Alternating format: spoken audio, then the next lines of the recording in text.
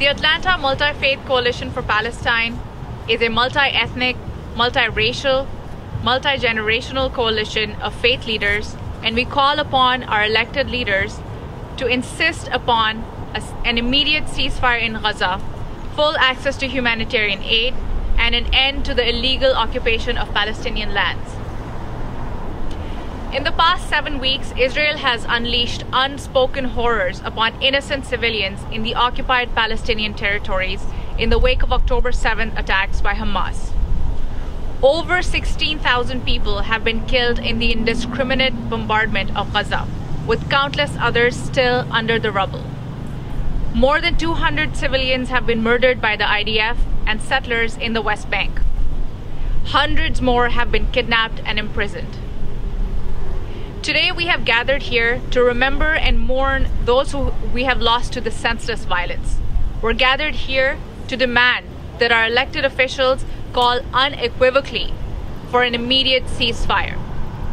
We're gathered here today and we will continue to gather until we see a free Palestine.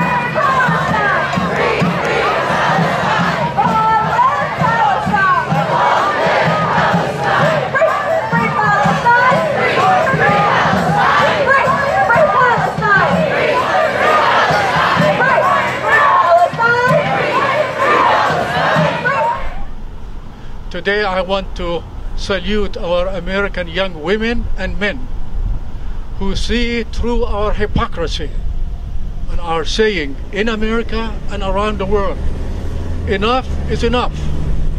Palestine must be free. The Palestinian people of Gaza and all over Palestine are family oriented, who love one another and care for one another and teach their children to love freedom, liberty, and the pursuit of happiness. Today we are asking our two senators and our representative to ask for a ceasefire for us, all of us, to work for justice and peace. Today, between the river and the sea, we have 7 million Israeli Jews and 7 million Palestinian Arab, Christians and Muslims. Both people need to live in freedom and in justice and equality. The fact that we have to be here today is sickening. But we have to. We have to show the Palestinian people are human beings because some of humanity has forgotten it.